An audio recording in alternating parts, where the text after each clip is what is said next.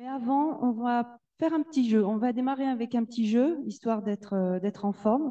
On va démarrer avec un WooClap. Alors, qu'est-ce que c'est qu'un WooClap Alors, c'est un système, c'est un jeu type quiz avec un système de vote interactif.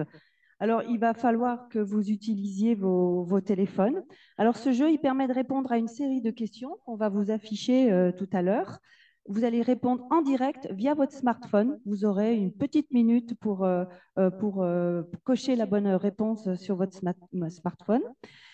C'est un jeu qui a été développé. Alors, le, contenu de, ce WooClap a été développé par le CIDAM euh, dans le cadre justement d'AP3C et il est à disposition des chambres d'agriculture euh, pour leurs animations sur les thèmes du changement climatique et de l'adaptation des exploitations. Il peut être aussi décliné pour, tous les par chaque, pour chaque département. Donc, il ne faudra pas hésiter à l'issue de cette journée, si vous avez envie d'utiliser ce, jeu qui est quand même euh, très pédagogique et intéressant, euh, ne, ne pas hésiter à contacter le CIDAM pour l'utiliser. Alors, on va venir au point pratique, comment ça marche? Alors, vous allez soit flasher le QR code qui est affiché à l'extrémité des noms, qui n'est pas affiché. Alors, donc vous n'avez pas le QR code. Par contre, euh, vous allez euh, entrer le code de l'événement. Vous allez vous connecter. Donc déjà, il faut que vous, ayez votre téléphone portable avec vous. Vous allez, euh, vous allez vous entrer le, le lien qui est affiché là sur l'écran. Donc vous allez sur wooclap.com. Vous allez entrer le code d'événement qui est affiché AP3C par PART1. Et ensuite, vous allez découvrir les questions qui vont être affichées à l'écran. Et là, vous aurez une minute pour, euh, pour donner votre réponse. Et on vous dévoilera les réponses à la fin de la matinée. Vous n'aurez pas les réponses tout de suite. Alors, euh, quel est le contenu de ce jeu? En fait, on va mesurer votre connaissance sur le changement climatique.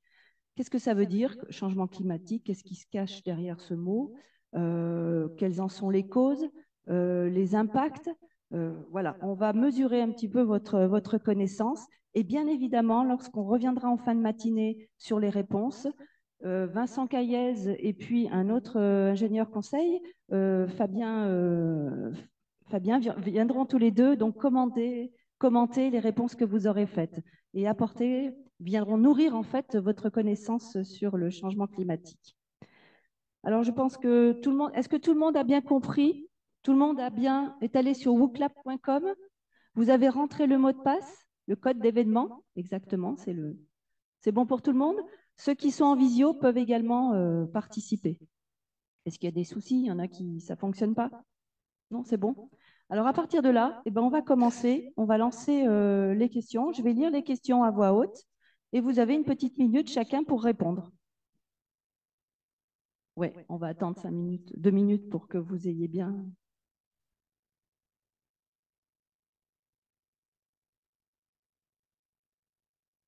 N'ayez pas peur, hein, le- c'est anonyme, on ne va pas vous taxer d'avoir euh, mal répondu, donc euh, c'est juste pour euh, tester vos connaissances. On y va?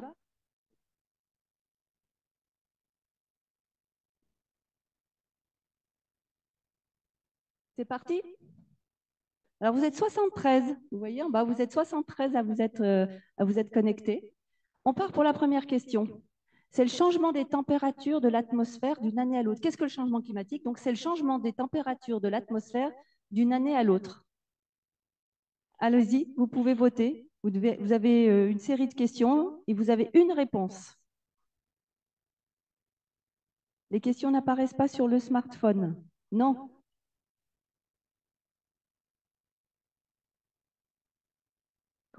Les questions apparaissent bien sur le smartphone, sur le téléphone, ouais.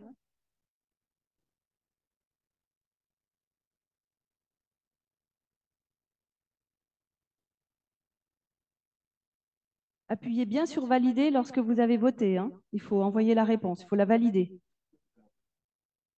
Ça y est, vous avez eu suffisamment de temps? Vous êtes 61 à avoir répondu, 62. Encore quelques secondes. Allez. Attention, la minute est passée pratiquement. Allez, on vous laisse encore 3-4 secondes pour les retardataires.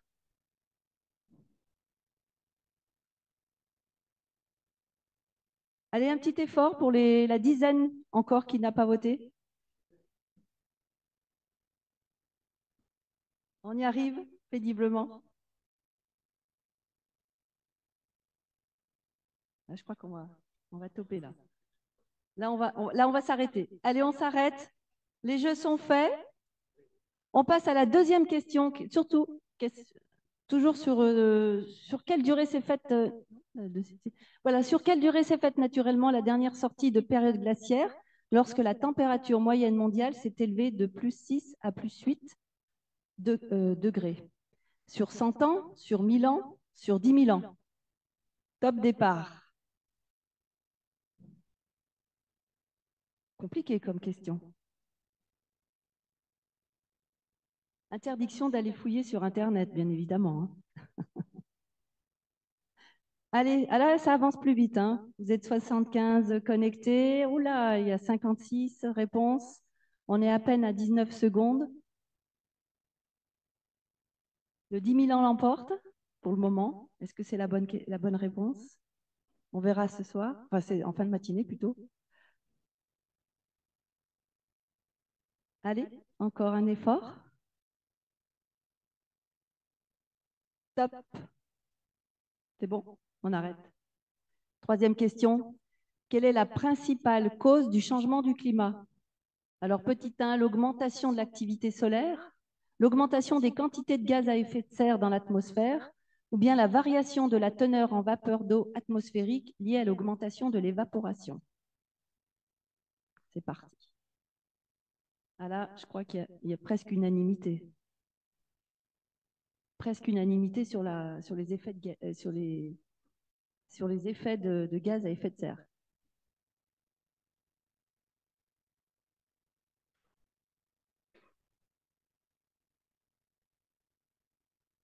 64. Allez, encore un ou deux. Oui, on est autour de 64, 65 à répondre. Attention. Top, on arrête sur cette question. Par rapport au cycle naturel de réchauffement du climat observé au cours de l'ère quaternaire, le changement climatique actuel est plus lent ou alors d'une vitesse similaire, deux à trois fois plus rapide ou plusieurs dizaines de fois plus rapide?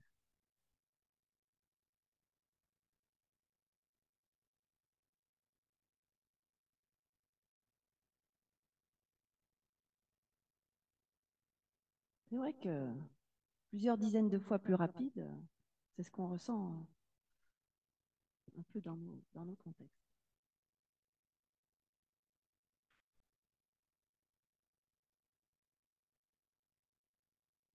On approche à minute.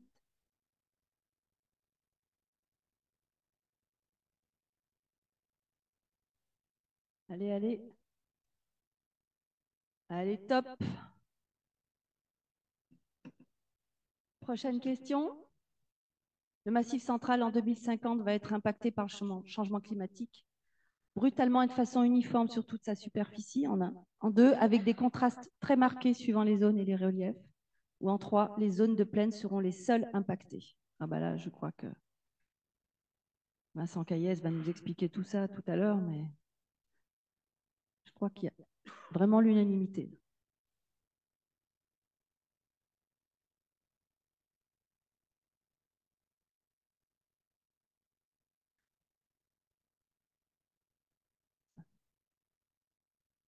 Crois qu'on peut passer à la prochaine, puisqu'il n'y aura pas d'autres votants. La ressource en fourrage, question essentielle, sera plus abondante car elle va se précocifier. Elle sera plus rare du fait de l'augmentation des températures et de la diminution euh, des précipitations, ou les deux. Il faudra adapter ces pratiques en fonction de la pousse qui sera perturbée. Là aussi, je crois qu'il n'y a pas beaucoup de surprises on a affaire à des gens qui connaissent bien le sujet.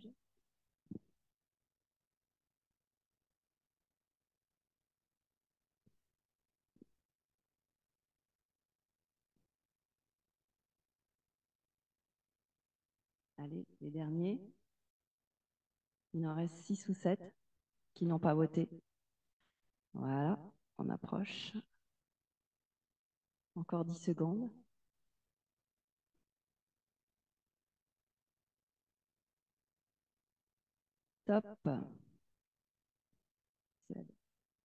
C'était l'avant-dernière. Alors, l'avant-dernière question. Laquelle des deux affirmations suivantes est vraie? C'est au printemps qu'on voit les hausses de température ponctuellement les plus, les plus, les plus, les plus élevées Et c'est au printemps qu'on observe les hausses de température les plus importantes. On va afficher le texte. Voilà. C'est au printemps qu'on voit les hausses de température ponctuellement les plus importantes sur le massif central. Ou alors c'est au printemps qu'on observe les hausses de température les plus importantes en moyenne sur le massif central.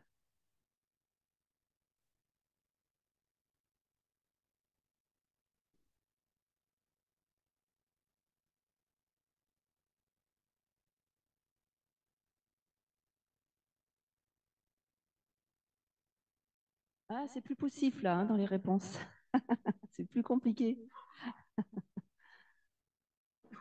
Attention, deux secondes. Allez, on vous laisse encore deux, trois secondes pour les retardataires.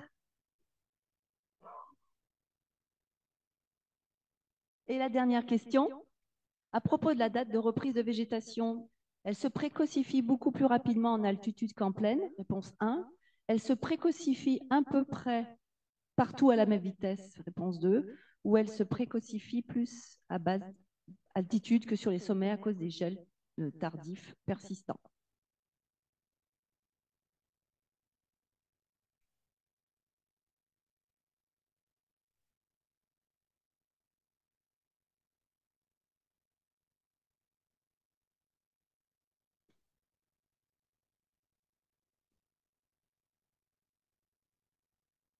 C'est plus mitigé. Il y a moins d'unanimité sur les réponses.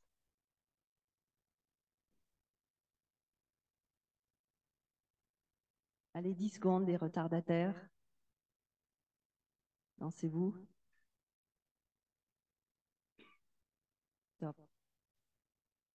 Impeccable. Voilà, il y avait huit questions. Vous êtes 76 à avoir euh, joué le jeu, donc euh, on vous livrera les, réponses euh, en fin de matinée. On vous remercie en tout cas d'avoir participé à, ce premier WooClap de la journée. Alors, on va passer maintenant dans, dans l'explication très concrète et très technique aussi de la méthodologie et de ce qu'est euh, AP3C et du travail qui a été fait pour élaborer ce projet. Donc, pour en parler, j'accueille Vincent Caillez. Euh, Vincent Caillez, qui est connu par tout le monde, mais je, tiens, je tiens parce que vous, vous voit souvent euh, sur les tables rondes et dans les colloques, preuve que justement les données AP3C aujourd'hui sont importantes pour travailler sur l'adaptation au changement climatique. Donc vous êtes climatologue pour le, projet AP3C. Le programme a été lancé en 2015, piloté par le CIDAM. Euh, vous allez nous présenter les évolutions climatiques à l'échelle du Massif central, montrer ce qui est en train de se passer euh, sur notre territoire, quelles sont les évolutions marquantes et les tendances. Vous allez nous présenter aussi l'évolution de la méthode et des cartes et des résultats qui visent à aboutir à la mise en valeur euh, d'un diagnostic. Donc pour cela, je, vais vous laisser la parole. Nous allons, votre intervention, votre intervention va être en deux temps. La première sur euh, plutôt la partie euh, méthode. Et ensuite, à la suite de cette première partie, vous aurez l'occasion de poser une première salve de, questions, d'avoir un échange avec Vincent. Et puis ensuite, il reprendra euh, sa présentation et on terminera par une deuxième phase d'échange avec Vincent Caillez. Voilà, donc je vous laisse le micro, Vincent. Merci. Oui ah, alors, on me dit que le lycée est en train d'arriver. On va prendre quelques minutes pour les laisser rentrer. Merci. J'en profite pour rappeler que pour les micros, c'est important quand euh, il y aura l'échange, hein, donc de bien arrêter, euh, allumer le micro et ensuite de bien l'arrêter euh, quand vous avez terminé avec votre question.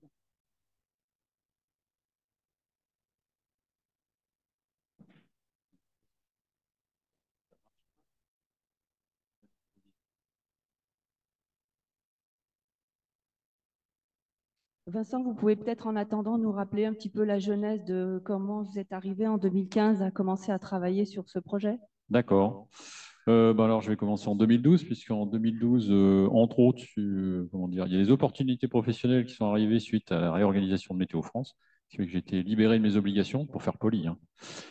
et qui avait à la Chambre d'agriculture, ici présent dans la salle, quelqu'un qui a bien voulu écouter ce que j'avais à dire sur le changement climatique tel qu'il se produisait réellement, et puis qui a pris conscience des impacts potentiels que ça pouvait avoir sur l'agriculture à une époque où euh, il y avait encore beaucoup de négationnisme dans les chambres d'agriculture. des doutes, beaucoup, et du négationnisme un peu encore. Et donc, euh, suite à un projet donc AP3C Creuse, mais on n'avait pas mis le, le, logo à l'époque. C'était adaptation des pratiques culturelles au changement climatique, sous-entendu Creuse.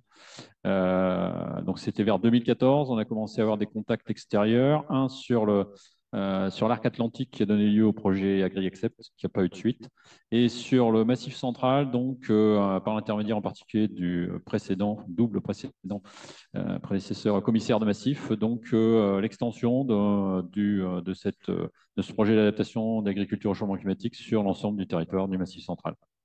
Et depuis 2015, donc, euh, je travaille soit par l'intermédiaire de la Chambre d'agriculture, soit directement pour le CIDAM dans le cadre de projet, du projet AP3C essentiellement, d'adaptation des pratiques culturelles au changement climatique. Voilà, des années qui nous amènent aujourd'hui donc euh, à, échanger sur ce sujet. Donc, euh, j'en profite pour accueillir les élèves de, de BTS du lycée de, agricole de Saint-Chély-d'Apché. Bienvenue à vous. Donc, euh, on va écouter, vous arrivez juste au début de l'intervention de Vincent Caillès, qui est le climatologue d'AP3C au CIDAM, et qui va nous présenter donc euh, cet outil euh, dont que vous connaissez parce que je crois que vous, vous l'avez étudié et vous avez fait un travail qui sera présenté cet après-midi sur la, sur la base de ces données-là. Voilà, je vous laisse la parole, Vincent. Bien, donc bonjour à tous et également aux nouveaux arrivants. Donc, je vais vous parler de, de méthodes et de résultats. Alors pourquoi encore parler de méthode bah, Parce qu'on est encore actuellement donc euh, interpellé, voire parfois critiqué donc, sur la manière dont on produit les projections climatiques et agroclimatiques derrière. Et puis ensuite, bien entendu, il y aura les résultats. Donc on y va. Alors, euh, je vais euh, séparer donc la méthode. Alors, j'ai décidé, enfin, comment dire, j'ai décidé. On n'est pas ici dans le cadre d'un colloque scientifique, donc au lieu d'être, de sortir des, des diapositives avec plein d'équations partout, je vais essayer d'être le plus illustratif possible. Et ensuite, il y a des questions techniques, ben, j'y répondrai. Euh, d'abord, euh, premier élément, donc la méthodologie temporelle. Comment est-ce qu'on fait pour avoir des projections climatiques euh, compatibles avec ce qui se passe en termes de trajectoire, en termes de vitesse d'évolution, et ensuite on passera au spatial. Alors d'un point de vue temporel, pourquoi est-ce qu'on ne fait pas ce que les autres font? Eh bien parce que ce qu'on peut voir ailleurs, donc là, je pense qu'il y a un pointeur. je vais essayer le pointeur. Oui, ça marche. Donc là, ce que vous avez donc représenté à l'écran, ce sont des, euh, moyennes de température maximale donc, du printemps sur la station de Clermont-Ferrand. Vous avez donc en couleur les évolutions telles qu'elles sont euh, simulées par un panel de 10 modèles à chaque fois, rouge en scénario fortement émetteur de gaz à effet de serre, vert en scénario moyennement émetteur de gaz à effet de serre. Euh, projection que tout à chacun peut aller télécharger sur le site DRIAS Les Futurs du Climat. Et ce que je vous demande de regarder, c'est la vitesse d'évolution euh, de ces températures maximales du printemps telles qu'elles sont simulées et telles qu'elles sont observées. Alors, si on le lit d'un point de vue vertical, bah, ce qu'on peut voir assez facilement, c'est que euh, ce qu'on vous projette habituellement, ça va 3 à 4 fois plus lentement que la vitesse d'évolution réelle. Donc euh, nous, évidemment, euh, vu que derrière, on, applique, on va dire, ces projections à la production agricole, avec une telle divergence, il n'était pas question, on va dire, d'utiliser les projections telles qu'elles sont utilisées à peu près partout. Mais il n'y a pas que ça, on peut lire aussi ce graphique d'un point de vue horizontal. Alors, sachant que ça démarre à peu près du bon endroit sur une période de référence, tout simplement parce que les projections climatiques physiques, elles sont recalées sur une période de, de référence par rapport à des niveaux. Donc, c'est normal qu'on parte à peu près du même endroit, donc pas exactement. Pourquoi? Parce que euh, ce qui est observé, c'est sur un point en particulier, et ce qui est simulé, c'est une moyenne sur un carré de 8 km sur 8 km, donc ce n'est pas exactement le même endroit, mais quand même, c'est très proche. Mais qu'est-ce qui se passe lorsqu'on le lit de manière horizontale? Eh bien, Ce qu'on peut remarquer, c'est qu'en espérance, c'est-à-dire une sorte de moyenne mobile, on en est arrivé donc aux moyennes des températures maximales du printemps, quelque part, en 2025, là, quelque part vers 18 degrés et demi sur Clermont-Ferrand. Et qu'est-ce qu'on voit euh, jusqu'en 2100, y compris en scénario fortement émetteur de gaz à effet de serre, toujours en espérance, c'est-à-dire en valeur centrale, on est quelque part vers 18 degrés? Ça veut dire quoi? Ça veut dire que si vous utilisez donc les projections classiques, vous pensez regarder le futur et y compris en scénario fortement émetteur de gaz à effet de serre, y compris un futur lointain, alors qu'en fait, vous regardez déjà le passé du climat, puisqu'on l'a déjà dépassé maintenant. Alors nous, le principe, on va de la P3C, bah, c'est de construire, on va des projections climatiques qui sont compatibles avec les trajectoires telles qu'elles sont réellement engagées sur le terrain. Euh, donc sur, cette, sur ce graphique-là, vous ne le voyez pas, mais j'ai produit d'autres diapositives qui permettent donc de vérifier ces choses-là. Donc voilà, donc ça c'est euh, alors en point noir, j'ai suivi à peu près donc la même convention. En point noir, ce que vous avez, ce sont donc les observations. J'ai choisi précisément donc le même paramètre qui, est la moyenne des températures maximales au printemps. Là, c'est un point qui se trouve dans la Loire, dans la station de Boin-sur-Lignon. Donc, ce qu'on peut voir, alors les points observés, euh, c'est euh, voilà, chaque année, voilà comment ça a été observé. Par contre, les simulations, comme nous, on en fait 10 000, il n'était pas question que vous représentez chaque année 10 000 points. Donc, on a fait des distributions, sachant qu'au centre, c'est la moyenne qui se trouve être confondue avec la médiane pour ce paramètre-là. Euh, de part et d'autre, ce sont les quintiles, et euh, de part et d'autre encore plus, ce sont les déciles. Alors, les déciles, ça veut dire qu'il y a 10% des observations des simulations, enfin, là, dans le cas présent, des simulations qui sont au-dessus, et 10% des simulations qui sont en dessous, donc euh, respectivement du marron et du bleu foncé. J'espère que c'est clair. Donc là, vous avez les distributions. Et sur ce graphique, on peut constater effectivement que les projections AP3C sont compatibles avec les observations. Euh, alors, je ne me suis pas limité donc euh, uniquement aux paramètres qu'on avait euh, regardés sur DRIAS, les futurs du climat. J'ai fait également donc des choses plus classiques. Euh, les températures moyennes annuelles. Euh, sur un autre point, là, euh, ça se trouve dans, le Rhône, la Mure sur Azergue, parce qu'il y a une partie du département du Rhône qui fait partie donc, du domaine administratif du Massif central. Bon, effectivement, sur ce graphique, on peut également constater donc, la compatibilité des trajectoires donc, observées et des trajectoires simulées. Mais sur ces deux exemples, vous pourriez vous dire, si vous ne connaissez pas la méthode, qu'on a utilisé des points noirs pour fabriquer, pour fabriquer les courbes de couleurs. Pas du tout.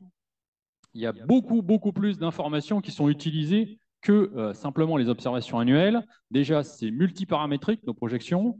Et ensuite, on n'utilise pas uniquement des valeurs annuelles, on utilise des valeurs quotidiennes. Si vraiment ça vous intéresse, donc, euh, on a un rapport euh, scientifique et technique qui a été donc, rendu public en septembre 2020, en partie d'ailleurs suite à l'impulsion de Météo France qu'on avait rencontré donc, en mars 2020 et qui nous avait demandé donc, de lui fournir une partie de la méthode. Comme il y a eu le Covid, finalement, on a eu beaucoup plus de temps pour faire ces tâche de fond. Donc, on a produit la totalité de la méthode et on l'a rendu public sur notre site donc en septembre 2020. Donc, vous aurez l'explication, on va dire, technique complète de fabrication de ces projections. Et en particulier, donc, sur le dernier exemple, on peut vérifier que ce qu'on a, fabriqué, ce n'est pas une bête régression linéaire. Bah, vous voyez les courbes. Ça, ce sont les précipitations donc, sur le département du Lot, parce que c'est un des rares endroits dans le Massif central où les précipitations annuelles elles baissent significativement. Désolé, c'est comme ça. Et donc, ça permet donc de montrer que euh, euh, que, un, euh, on ne s'est pas contenté des points noirs pour tracer les courbes, parce que euh, si vous vous contentez des points noirs, les courbes peuvent aller dans tous les sens. Si vous faites une régression linéaire simple, pour ceux qui font un petit peu de statistique au lycée, voilà, les, incertitudes statistiques sont énormes, donc c'est plus sophistiqué. Et en plus, ce que vous pouvez voir, c'est que ce n'est pas des droites, les projections, c'est bien des courbes. Même si dans le cadre des températures, ça ressemble beaucoup à des droites.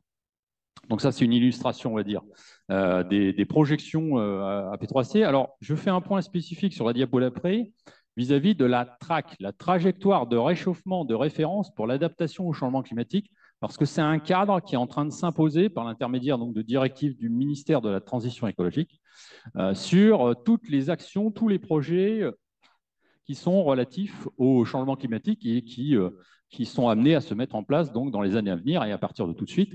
Il faut donc que ces projets respectent la track. Et eh bien, il se trouve que les projections AP3C respectent la track, même si ce n'était pas nécessairement prévu au départ. Alors, quelles sont les conditions euh, qui sont euh, requises dans la documentation donc, du ministère euh, de la Transition écologique? On dire, le, ce qui est emblématique, c'est plus 4 degrés. Alors, sous-entendu, plus 4 degrés, quand, quoi, comment? Alors, plus 4 degrés, donc en moyenne hexagonale, c'est-à-dire en France entière, euh, en température moyenne annuelle par rapport donc à, la période 1850-2100 et, j'ai oublié de le noter derrière là, c'est à l'échéance 2100. Euh, donc par rapport à une période pré-industrielle, on va dire, et jusqu'en 2100, la différence entre les deux, c'est 4 degrés.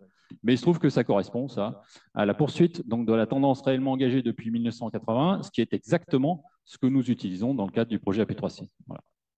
Ensuite, il y a deux autres conditions c'est qui, qui, pour nous, sont un peu équivalentes, qu'on respecte également. Le fait qu'il faille prendre en compte un scénario d'émissions de gaz à effet de serre entre moyen et fort, ça c'est l'expression qui est consacrée. Euh, quand on regarde un peu en détail, c'est quelque part, pour ceux qui se connaissent un peu, entre les scénarios 4,5 euh, et 7.0. Et quand on utilise des vieux documents, les RCP, c'est quelque part entre 4,5 et enfin 4.5 et 8.5. Le scénario qui ressemble le plus euh, il existe, c'est le 6.0, mais comme il n'était pas obligatoire dans le dernier rapport du GIEC, finalement, il y a très peu de résultats qui sont sortis. Mais si vous, on choisit un seul scénario, c'est celui-là, c'est le 6.0. Donc c'est entre moyen et fort, et il se trouve qu'entre moyen et fort, là aussi, euh, il n'y a pas d'accélération ni de ralentissement par rapport à la tendance engagée. Donc oui, ça, en fait, pour nous, c'est la même propriété, vu que nous, on s'arrête en 2050. Parce qu'effectivement, si on était allé plus loin, là, oui, ça aurait pu dépendre du scénario d'émission de gaz à effet de serre, mais jusqu'en 2050, c'est commun donc entre les, les scénarios moyen et fort, la, poursuite de la tendance engagée. Et il faut utiliser aussi, euh, enfin, il faut utiliser une moyenne multimodèle, parce que si vous n'utilisez qu'un seul modèle vers le climat futur, vous pouvez avoir des fluctuations importantes. En particulier, les modèles ne calent pas correctement euh, l'oscillation atlantique multidécennale qui peut euh, surexprimer une tendance pendant quelques dizaines d'années, puis sous-exprimer des tendances. Non, ce qu'impose la traque c'est une moyenne multimodèle. Alors nous, de ce côté-là, on est on va tranquille parce que nous, ce qu'on utilise, c'est 10 000 modèles, 10 000 réalisations donc, de nos projections euh, par générateur stochastique de temps. J'ai tenu quand même à préciser qu'il euh, y a des choses que la track n'impose pas, mais que nous, nous respectons dans AP3C parce que ça nous semble indispensable. C'est le fait que la compatibilité donc, des trajectoires réellement engagées, euh, elle se fasse également à une échelle sous-nationale. La traque, elle parle uniquement d'une moyenne hexagonale. Mais euh, il se trouve que vous pouvez avoir des fluctuations importantes dans les vitesses d'évolution à un niveau plus petit, à un niveau territorial. Et ça, ce n'est pas nécessairement respecté dans la traque. Nous, nous le respectons dans le cadre du projet AP3C. Et ce qui est encore plus important, c'est que cette compatibilité, elle n'est pas nécessaire dans le cadre de la traque avec un pas de temps euh, sous-annuel, sous-entendu saisonnier. Et là, vous pouvez avoir des fluctuations extrêmement importantes d'une saison sur, extrêmement importantes d'une saison sur l'autre. Et nous, donc, on respecte euh, cette compatibilité avec les trajectoires également à une échelle sous-annuelle, à une échelle saisonnière. Donc ça, c'était des questions de méthodologie temporelle. Alors, on va, peut-être faire une... non, parce que je n'ai pas terminé la ah méthodologie. pardon, c'est l'autre. Excusez-moi. Ça, c'était, euh, voilà, en temporellement, voilà comment on évolue. Maintenant, je vais vous parler de spatial. Alors, c'est un peu plus imagé. Euh, et puis donc j'ai choisi d'écrire aucune équation. Voilà. Donc euh, spatialement, euh, à la base, entre 2015 et 2018, enfin au moins 2017, donc le, projet AP3C, donc Massif Central, la manière dont il s'est lancé, il n'était pas du tout cartographique. Il était uniquement multiponctuel, c'est-à-dire on va vous faire des projections climatiques et agroclimatiques sur un réseau de points. Et puis donc il y a une demande assez forte pour qu'on trace des cartes donc, on a commencé à tracer des cartes à la main, donc des cartes qui ont été publiées, la carte version 0 là, en 2018, dans des petits documents papier, peut-être qu'ils sont encore téléchargeables quelque part. Il doit être marqué ancien document, si vous arrivez à le trouver, bravo. Euh, donc voilà ce qu'on a réussi. Alors là, ce que j'ai choisi, parce que c'est le plus évolutif, on va dire, enfin, on voit vraiment comment ça a évolué au cours du temps, euh, au cours des différentes versions, c'est l'évapotranspiration potentielle au printemps, la demande évaporatoire de l'herbe au printemps. Donc, euh, comment ça a été tracé à la main Voilà ce que ça donne, donc en 2018. Ensuite, on a commencé à développer donc, notre méthode de, cartographie en adaptation aux configurations de relief. Euh, et là, vous avez la version 1 donc en 2020. Euh, sachant que pour cette version-là, pour un certain nombre de cartes, finalement, ce n'était pas un progrès. Et comme nous, on n'hésite pas à mettre les pieds dans le plat, bah, justement, sur ce genre de cartes, sur celle-là, ce n'était pas un progrès. C'est-à-dire qu'on voit, en fait, on a l'impression d'avoir beaucoup de détails, mais il n'est pas nécessairement vraisemblable. Alors, on connaît l'origine désormais. C'est parce qu'on avait un, nombre de points de, fixation ou de, euh, de, recalage, de redressement qui était trop faible, une trentaine de points donc sur le massif central. Donc, vous aviez beaucoup de bruit beaucoup de bruit à tel point que euh, sur la plaine du Forez bleu, euh, il y avait moins d'évaporation au printemps que sur les monts du Forez. Euh, désolé, ce n'est pas cohérent ces trucs-là. Sachant que s'il n'y avait que quelques cartes qui étaient problématiques, là je vous en montre une, mais quand même, on avait une majorité de cartes où par rapport au, tracé manuel, il y avait une amélioration, on va dire, déjà sensible. Donc ça, c'était la version 1. Maintenant, on va passer aux deux versions suivantes. La version 2, donc là, Euh, on a fait ce qu'il faut pour augmenter le nombre de points de recalage, et là, ça a fait une différence déjà euh, très sensible. Donc, on est passé de 30 points de recalibration à 70, donc sur la carte version 2. Donc là, il n'y a plus d'incohérence. Hein. C'est bien dans les vallées que l'évapotranspiration est la plus forte par rapport aux montagnes. Et euh, donc, entre la version 2 et la version 3, alors on est passé de 2 à 3. Vous voyez bien qu'on a une augmentation du domaine géographique, entre autres sous l'impulsion du commissariat massif qui voulait qu'on vu que les résultats leur semblaient cohérents, qu'ils voulaient qu'on l'étende à l'ensemble du domaine administratif, donc y compris sur le Morvan au nord et sur la montagne noire au sud. Donc on a augmenté un peu le domaine, mais on a augmenté, donc on est passé de 70 points de référence, on va dire, à 170 sur le grand domaine. Donc la densité est quand même sensiblement plus importante et elle est plus homogène. Et donc, on peut, en, gros, on a les deux, les, deux bénéfices. C'est-à-dire qu'il n'y a toujours pas d'incohérence, on va dire, d'échelle assez grande. On est effectivement fort en, basse altitude et plus faible en altitude plus élevée, mais il y a un peu plus de détails vraisemblables, on va dire, euh, au niveau euh, géographique. Voilà, donc qu'est-ce qu'on a fait? Donc là, j'ai fait un zoom de la dernière carte pour vous montrer que désormais, on peut l'utiliser à des échelles relativement petites. Donc j'ai fait un zoom de la dernière carte sur le, euh, domaine du Puy-de-Dôme, enfin sur le département du Puy-de-Dôme. Donc Clermont-Ferrand doit être quelque part par là. Les rentrées rouges, là, c'est autoroute. Euh, et puis euh, en marron, là, c'est ce qui est bâti. Voilà, donc on peut voir qu'effectivement, euh, on arrive parfois à distinguer à l'intérieur de la même commune des vitesses d'évolution qui sont différenciées. Oui, sur les dernières cartes, on arrive effectivement à faire ce genre de choses. On a travaillé donc de manière beaucoup plus explicite sur la dernière version sur la qualification, la qualité des cartes. Donc, on a fait une grille de qualification avec euh, un critère qui était calculable, donc objectif, entre guillemets, et un critère qui était subjectif. Alors, le critère objectif, c'était euh, euh, l'incertitude de spatialisation par rapport à l'écart de couleur, l'écart de valeur correspondant à un changement de couleur. Sous-entendu, bah, la première case, c'est si l'incertitude elle est inférieure à une demi-couleur, ça veut dire que, en gros, avec même avec l'incertitude, la, carte, elle ne changerait pas beaucoup. Quoi, hein. Euh, après, vous avez donc le truc moyen, une couleur, et puis euh, quand on arrive à deux couleurs d'écart, bah, ça veut dire que la carte, vous ne pouvez plus euh, beaucoup vous, vous fier à, ce que, à ce que vous voyez. Et en sens, et ce qui est subjectif, donc, qui va donc l'autre, l'autre indicateur, c'est le moiré, le bruit apparent. Ça, ça demande un peu d'expertise personnelle, on va dire, d'un climatologue. on regarde la carte et on voit s'il y a des formes étrange, bizarre, s'il y avait des traits horizontaux, des traits penchés, choses comme ça. Non, non, ça, c'est pas vraisemblable. Hein. Surtout si c'est bien régulier, on voit bien que c'est pas, pas lié au relief. Donc, on, on, croise ces deux indicateurs et puis on a donc euh, quatre niveaux de qualité. Et puis donc, euh, à l'expérience, c'est-à-dire en regardant des centaines de cartes, euh, on a transformé donc, ces niveaux de qualité en préconisation d'utilisation donc, euh, vous voyez, de qualité 1 à qualité 4. Euh, qualité 1, bah, comme tout est au vert, ça veut dire que usage intégral sans limitation de résolution, en couche individuelle, en composition de couches, etc. Vous faites ce que vous voulez avec ces cartes. Qualité 4, je ne vais pas vous le dire parce que ça fait mal, mais en gros, euh, cette carte-là, vous la regardez de loin et puis elle n'est pas meilleure que la carte tracée à la main et peut-être parfois pire. Voilà. Alors, comment ça a évolué donc, ces cartes de qualité, sachant qu'on a été un peu plus exigeant au fil du temps sur la manière de, sur, dire qu'une carte était de bonne qualité. Je vous ai mis, pardon. Je vous ai mis donc euh, ce qu'on avait en qualité 1 et en qualité 4 euh, à la version précédente et à la version actuelle. Ce qu'on peut remarquer, c'est que sur les cartes franchement médiocres, ça a un petit peu diminué. Donc oui, il y a toujours quelques scories quelque part qui sont bien référencés hein, systématiquement sur le site web donc, de AP3C. Quand vous avez une, enfin, quelle que soit la qualité, elle est bien notée en disant attention, cette carte voilà, a telle qualité. Et puis ça se voit quand même, hein, les cartes de mauvaise qualité il y a plein de bruit, etc. Par contre, les cartes de qualité 1, euh, c'est ça qui était le plus important pour nous, c'est qu'on était aux alentours de 1 sur 8, puis on est passé à 1 sur 2. Voilà. Et en bonne partie, enfin, il y a eu un petit peu d'amélioration méthodologique, mais en bonne partie, c'est l'augmentation de la densité du réseau donc de, recalibration, qui permet une meilleure correspondance avec le relief, etc., etc. Donc ça, ça nous permet, enfin une telle qualité, on va dire une carte sur deux, ça nous a permis d'envisager euh, sereinement, sérieusement, un usage euh, ben, au pixel, en particulier dans le cadre d'un diagnostic. Euh, là, je ne vais pas vous en parler précisément. Simplement, j'ai sorti une carte donc extrêmement zoomée de qualité 1, qui est une date de fauche précoce, c'est-à-dire euh, comme le climat 2050, la fauche précoce 700 degrés jour, sachant qu'on a démarré au 1er février, donc des degrés jour base 0 degrés. Vous voyez donc la commune d'Ambert, ça c'est le bâti d'Ambert.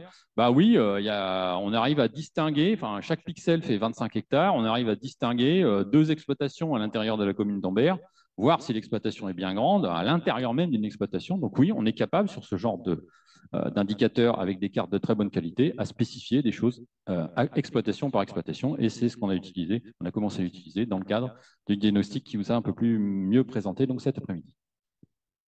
Voilà. Alors cette fois-ci, c'est la fin de la première partie sur la méthode qui était très technique, mais qui explique euh, réellement comment euh, vous faites euh, évoluer les données d'AP3C au fil des années en fonction des territoires, des lieux. On va passer maintenant à un petit échange. Si vous avez des questions sur cette partie, cette première partie qui vient d'être présentée. Donc, je vous invite à ce moment-là à ouvrir votre micro et à poser vos questions avant qu'on passe sur les résultats justement liés à, ces données et les résultats qui en, des, qui en sont découlés. Éventuellement des questions aussi via le web Via le web, oui. Par contre, j'ai vu, monsieur, vous avez levé la main. Je vous invite à, ouvrir votre micro. Oui, bonjour. Présentez-vous, s'il vous plaît. Donc, Alexandre Poirot, géographe, euh, bureau d'études indépendant euh, en Lozère, et puis je suis également membre associé au CNRS de Clermont-Ferrand. Euh, je suis un peu le projet euh, depuis, euh, depuis, un peu les débuts, notamment les aspects spatiaux. Et je voudrais quand même savoir sur la question de la validation, parce qu'en effet, donc, vous êtes passé de 30 à 170 stations. C'est vrai qu'il y a encore, lors du colloque d'il y a deux ans à l'IADT, on a eu cette question-là du fait qu'il y avait un déséquilibre en fait spatial du groupe d'entraînement, des, des stations. Donc là, c'est vrai que j'ai vu que sur la première carte qui avait été présentée, on voit que c'est un peu plus homogène, mais il y a quand même euh, une, concentration un peu plus importante sur le Limousin, malgré tout. Euh, et donc la question que je me pose, c'est sur les 170 stations, donc maintenant euh, ça permet de pouvoir avoir à la fois un groupe d'entraînement et un groupe de validation. Et donc sur la mesure de la qualité, puisque ce qui a été présenté, j'ai l'impression que c'est quand même une, une, approche qui est assez qualitative. Et ce que je voulais savoir, si, si justement il y a eu des tests statistiques derrière, donc soit avec euh, en CAFOLD ou autre, qui permettrait justement d'avoir euh, des métriques statistiques un peu plus précises sur, sur les validations spatiales de ces modèles. Merci. Oui, effectivement, donc on est allé plus loin donc, que ce qu'on avait présenté précédemment, qui était assez qualitatif.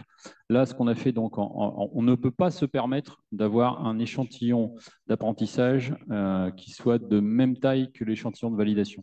Pourquoi? Parce que dès qu'on en prend, je sais pas quoi, 30%, euh, hop, on fait chuter, on voit réapparaître du bruit. Donc nous, ce qu'on a fait, c'est euh, fabriquer des échantillons tournants, des, échantillons de petite taille, mais qu'on a fait tourner sur toutes les cartes. Et euh, donc c'est suite à, la, comparaison avec ces points qui n'étaient pas utilisés dans la régression et puis l'erreur, on va dire, d'estimation qui était associée, qu'on a pu faire donc les nouvelles estimations d'incertitude. Et il y aura un rapport euh, technico-scientifique qui sera mis à disposition d'ici à la fin de l'année sur le sujet. Merci. Est-ce que quelqu'un d'autre veut intervenir? Monsieur, je vous en prie. Dans le cas de la qualité euh, numéro 1. C'est l'autre micro. C'est celui-là. Dans, dans, le cas de la qualité. Alors, je me présente, François-Xavier de Montard. Je suis un ancien d'INRA et je travaille dans le groupe scientifique de réflexion et d'information pour un développement durable. Donc, euh, en ce qui concerne euh, la qualité 1, est-ce qu'il y a une recherche effectuée pour euh, expliquer, c'est-à-dire quand on a tel ou tel résultat, en tel ou tel point, l'entourage de végétation, de, disons, en relief, c'est-à-dire la présence des arbres, la façon dont ils sont répartis sur le territoire, est-ce que cela joue un rôle Et aussi, est-ce que en interaction avec cette position des arbres, euh, est-ce qu'il euh, y a une recherche? Là, évidemment, je parle des questions de recherche, je m'excuse. Ça va au-delà du constat de la qualité. Euh, mais c'est pour le futur, hein, on, est, on, est, en avant. Hein. Et, donc, est-ce que la circulation de l'eau sur le territoire croisée avec les pratiques agricoles et avec les dispositifs mis en avant par l'agence de l'eau, par exemple, la revalorisation d'un certain nombre de dispositifs qui permettent de conserver davantage d'eau dans le paysage. est-ce que euh, justement, c'est pas une porte ouverte, c'est magnifique, cette, cette euh, qualité 1 pour interpréter le paysage? Et évidemment, on en reparlera du paysage tout à l'heure. Est-ce que l'eau, les forêts, tous les éléments qui, qui, constituent en fait la nature sont pris en compte dans les... C'est pas l'eau et le forêt, c'est l'interaction entre la présence de végétation développée en hauteur et la circulation de l'eau plus ou moins maîtrisée ou au contraire un lâcher total avec beaucoup de fossés d'évacuation et des surfaces imperméables ou lissées dans le cas de terrains qui, euh, qui sont euh, bloqués, qui ne reçoivent pas l'eau, etc. Alors, euh, lorsque je développe un peu plus d'un point de vue, euh, ben, sur les équations, etc., euh, ce que j'explique sans détour, c'est que cette méthode est une méthode en adaptation aux configurations de relief. Point barre. effectivement, nous, on ne fera pas, on va dire, l'expertise de pourquoi dans telle et telle condition, enfin dans tel paramètre, ça, c'est pas très bon. Euh, ça veut dire quoi? Ça veut dire qu'il y a d'autres choses qui influent que la configuration de relief. En particulier euh, la proximité du bâti, en particulier le type de végétation, en particulier la proximité de l'eau. On est bien d'accord? Mais ça, nous, on ne l'étudie pas. Oui, monsieur? Je vous laisse vous présenter également. Oui, bonjour. Euh, Laura Moriat, donc je travaille pour le Conservatoire botanique national du Massif central. Et euh, du coup, dans la perspective de diffuser ces, travaux euh, aux, agriculteurs qu'on côtoie, euh, je me demandais, là, dans, ces brochures-là, ces fascicules qu'on peut transmettre, les cartes datent de 2020. Et j'ai cru comprendre du coup qu'il y avait eu un saut qualitatif en 2022. Et je me demandais du coup si, si ces cartes restaient pertinentes ou s'il fallait plutôt attendre quelque chose d'autre avant de, de, diffuser des résultats de cartographie. Euh, C'était, en fait, votre présentation m'a mis le doute sur, sur la pertinence d'utiliser ou pas ces cartes. On est bien d'accord, c'est tout l'intérêt, on va dire, des cartes euh, version. Euh, alors, les, 2022, enfin, celles qui ont été mises à disposition sur le site web, c'est la version 1 et la version 3. La version 2, on était en gros en train de fabriquer en même temps la version 3, donc on a dit non, non, on va attendre d'avoir toutes les cartes de la version 3. Et simplement, la version 2, elle a été utilisée justement pour corriger un certain nombre de cartes, dont celle que je vous ai montrée de l'évapotranspiration, parce qu'il y avait un réseau qui était très faible. Donc celles-là, elles sont, euh, ce genre de cartes, bah, elles ne sont pas de bonne qualité. Euh, je suggère vivement d'utiliser les cartes de version 2023, hein, parce que je n'ai jamais vu, sur les 500 cartes que j'ai produites, je n'ai pas vu de dégradation de qualité. Il y a quelques cartes qui sont restées au même niveau, mais euh, j'ai pas vu de, j'ai pas eu un exemple de dégradation de qualité entre la version 2020 et la version 2023. Je crois pas. Hein. Donc zéro risque à prendre les cartes les plus récentes, si vous voulez. Donc, juste pour rappel, sur le site d'AP3C, vous avez euh, l'ensemble, euh, enfin, majorité des cartes qui sont sur le site, téléchargeables. Et si vous voulez d'autres cartes, notamment celles qui sont déciles, euh, vous, avez qu'à nous contacter, euh, puisque ce sont des PDF et ce sont nos livrables, donc euh, ils sont à la disposition de tout le monde. Oui, toutes les cartes en médiane sont cliquées, pointées, téléchargées, hop, vous l'avez chez vous. Hein. Vous l'utilisez comme vous voulez. S'il vous plaît, vous gardez la, version, la mention comme quoi c'est nous qui l'avons fabriqué, mais à part ça, vous en faites ce que vous voulez. Est-ce que la réponse vous satisfait? Oui, très bien, merci. Parfait. Une autre intervention? Oui, allez-y, je vous en prie. Oui. Alexandre Poirot, toujours. Donc, oui, je, reviens sur multimodèle pour bien bien comprendre. Euh, le multimodèle, en fait, c'est une architecture de, de modèles avec 10 000 tirages aléatoires. Donc, on n'est pas sur 10 000 modèles différents, c'est bien la même architecture et l'on refait du stochastique dedans.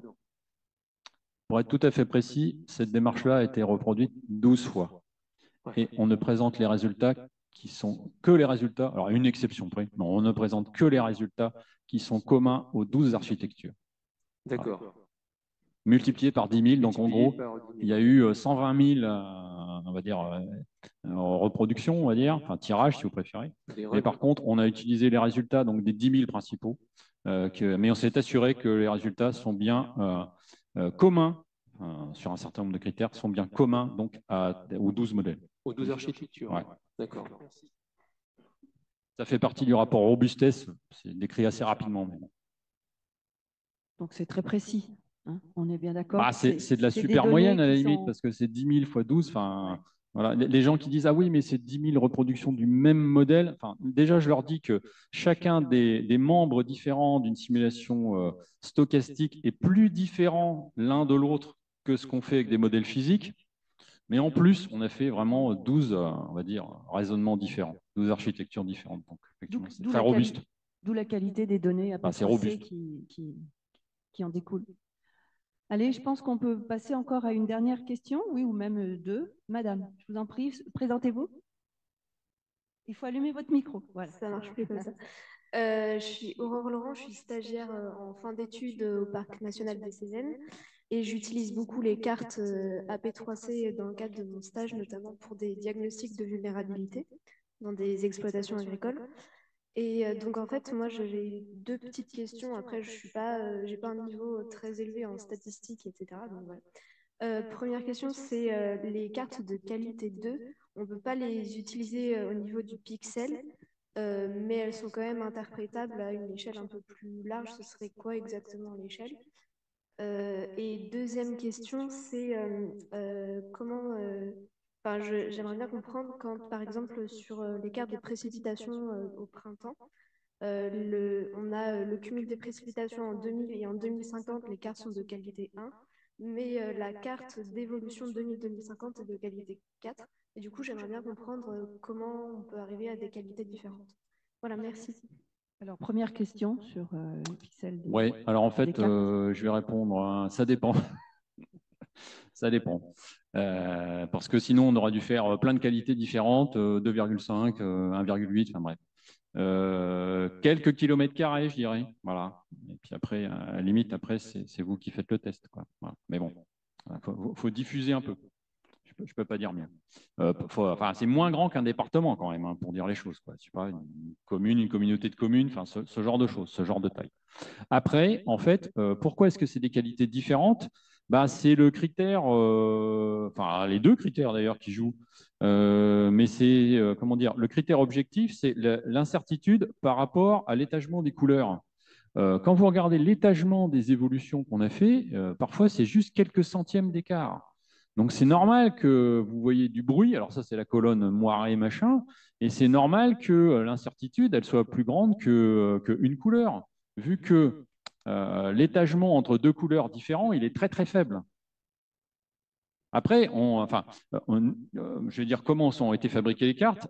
toutes les cartes ont été fabriquées avec un, une classification dite de Jenks. Donc, euh, on n'est pas intervenu dessus. C'est une classification optimale. Alors, nous, on a choisi le, nombre de catégories, sachant qu'on est devenu plus exigeant aussi de la version 2 à la version 3, parce qu'à la version 3, on a systématiquement rajouté une catégorie supplémentaire, parce qu'on s'est dit, on est meilleur, et eh ben on va prendre euh, plus de, enfin, on va essayer d'être plus précis dans, dans ce qu'on représente.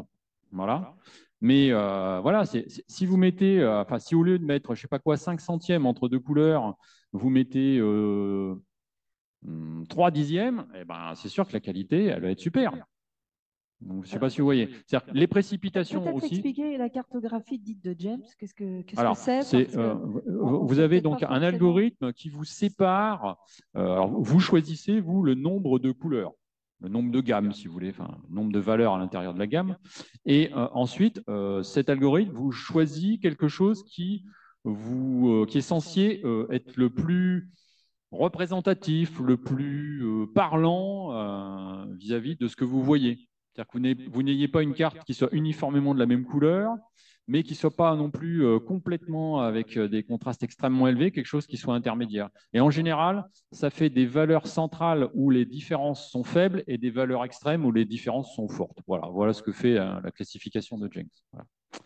Et quand vous faites ça sur des valeurs qui sont peu étagées, comme pour les évolutions, c'est quand même assez peu étagé, autant les précipitations, vous pouvez aller du simple au triple sur le massif central. Autant les évolutions en moyenne annuelle, c'est beaucoup plus restreint comme gamme de valeurs. Donc c'est normal que sur une gamme plus restreinte d'évolution, eh ben, vous voyez plus de bruit euh, et votre incertitude soit plus forte par rapport à votre écart intercouleur.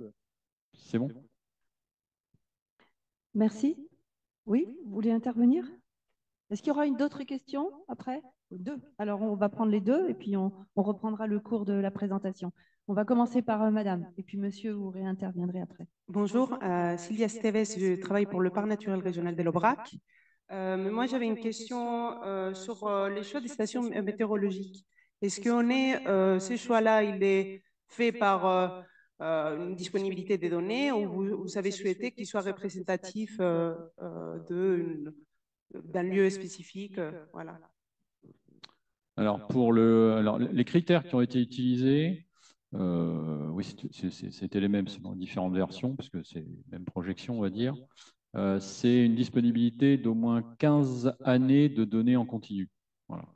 Euh, Sous-entendu, pourquoi? Bah, Parce que c'est à partir de cette période-là qu'on a un rapport signal sur bruit qui commence à être positif. On dit qu'il y a un temps d'émergence de l'évolution des températures qui est de l'ordre d'une quinzaine d'années. C'est-à-dire que si vous prenez une série plus courte, la tendance sera noyée dans le bruit. Voilà. Et, ça, on l'a appliqué donc sur l'ensemble du massif central, sachant qu'on a eu une limite, c'est le budget. Alors, il se trouve que sur le Limousin, pour des raisons historiques, parce qu'on avait commencé avant, on a pu avoir la densité maximale. Donc, sur le Limousin, c'est pas compliqué, il n'y en a pas d'autres. Ou alors, je me suis trompé quelque part, mais a priori, on a pris toutes les stations. Sur les autres, on a pris une répartition. Alors, j'ai fait un choix, moi, au préalable, et ensuite, ça a été validé ou pas par les correspondants départementaux du projet AP3C. Et parfois, il y en a qui ont remanié. euh, il y a un département où euh, ça a été entièrement remanié. Oui, oui, oui, absolument, la Lozère. Bref, euh, ça a été le choix donc des. Euh, T'étais peut-être pas là. En fonction donc des, des, des spécificités locales qui ont été appréciées par les, euh, par les conseillers territoriaux des chambres d'agriculture, oui, ce, réseau a pu être modifié. Voilà. Désormais, euh, on en est, bon, sur le Limousin, il y a tout, donc euh, en température, on en est à 15 stations par département. Sur les autres, on en est une moyenne de 7 ou 8. Donc le rapport, on va dire, de densité, qui était fort sur les versions précédentes, il a été fortement diminué. Et on n'a pas pris le maximum pour des raisons budgétaires. Voilà.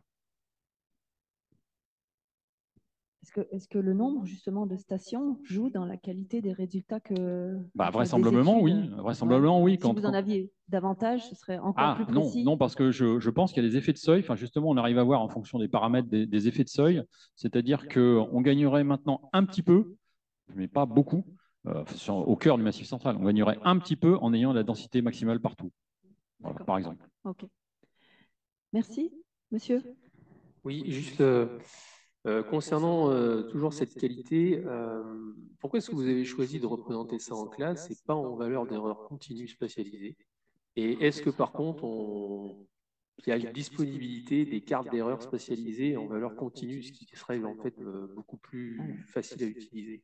Question très précise, très technique. Je comprends pas. En fait, c'est ce qu'on avait envisagé au début, sauf que c'est beaucoup trop lourd pour notre projet. Donc, on a fait, on a fait des choix de catégorisation et des choix aussi euh, d'échantillons qui sont de petite taille. Et pour limiter le problème lié à un échantillon de contrôle de petite taille, ben, on a fait des échantillons tournants. Voilà ce qu'on a fait. Et donc, sur des échantillons tournants qui, pour les précipitations, font euh, 12 points, bah, il n'y a pas de carte. Enfin, je veux dire, ça serait ridicule de tracer une carte sur le massif central avec 12 points. Quoi. Voilà. Merci Des Vincent. tâches, ça va des tâches. Merci Vincent Caillez, merci aux interventions. Donc, je vous laisse euh, poursuivre euh, votre présentation, Vincent, sur euh, bah, tout ce qui est projection climatique, température, précipitation, enfin les résultats bilan hydrique. Ok, donc maintenant, on, bah, va présenter. bah, voilà ce qui est en train de se produire sur le massif central, sachant que les choses sont claires. on décrit des trajectoires telles qu'elles sont réellement enclenchées, sans accélération, ce qui est une hypothèse très modérée par rapport aux derniers résultats qu'on peut voir un peu partout. Et voilà, on sait que c'est une évolution, on va dire, minimale vraisemblable plutôt. Donc, je vais vous présenter les évolutions de température, de précipitation et de bilan hydrique potentiel. Le bilan hydrique potentiel, c'est précipitation moins la demande évaporatoire de référence euh, ETP. Alors d'abord, euh, bah, voilà, le grand domaine. Donc on vous a déjà présenté, enfin Laurence vous a présenté le, euh, réseau donc sur le rectangle maximum. Euh, on a mis un masque sur la Méditerranée. euh, pourquoi? Parce qu'on utilise des configurations de relief. Donc la Méditerranée, en gros, ça n'existe pas. C'est une plaine d'altitude zéro, ce qui est un peu stupide parce que l'eau, évidemment, ça a une influence. Donc j'ai supprimé, euh, on va dire, ce qui correspond grosso modo à- au domaine de la brise de mer, c'est-à-dire à l'influence directe de la Méditerranée. Et sachant que les résultats sur lesquels on s'engage, c'est à l'intérieur du périmètre du Massif central. Mais j'ai tenu quand même à enlever complètement, on va dire, ce qui est proche de la Méditerranée. Ceci étant dit, donc voilà comment c'est en train d'évoluer. Donc, alors on est à la moitié en 2024. Hein, on est à la moitié donc, de cette évolution. Donc regardez la gamme d'évolution des températures moyennes annuelles, 1,9 degrés. Vous multipliez par 2 et vous obtenez 3,8. Ça se rapproche des 4 degrés. Euh, voilà. C'est plus compliqué que ça. Mais euh, en gros, vous avez la même gamme d'évolution que les plus 4 degrés à l'échéance de fin de siècle. Euh, et vous voyez donc à l'intérieur de chaque département, il peut y avoir des différences assez sensibles, de plus ou moins 15%. Euh, en température du printemps, je crois que la question avait été posée, la température du printemps, bah oui. Donc, euh, regardez la, valeur centrale donc, de l'évolution au printemps, 2,5 eh ben, degrés en 50 ans, bah, ça fait 5 degrés par siècle, avec des fluctuations qui peuvent être importantes à l'intérieur de chaque département. Là, elles atteignent 20, voire 25%, voilà. avec des influences de, protection, de relief. Et je crois que derrière, j'ai fait un zoom sur le Cantal j'espère. Oui, je ne me trompe pas, voilà. Euh, et on a donc des, effets de vallée qui peuvent être particulièrement euh, bien marqués, en particulier dans le Cantal, parce qu'il y a des vallées qui sont très bien marquées au niveau du, plomb du Cantal.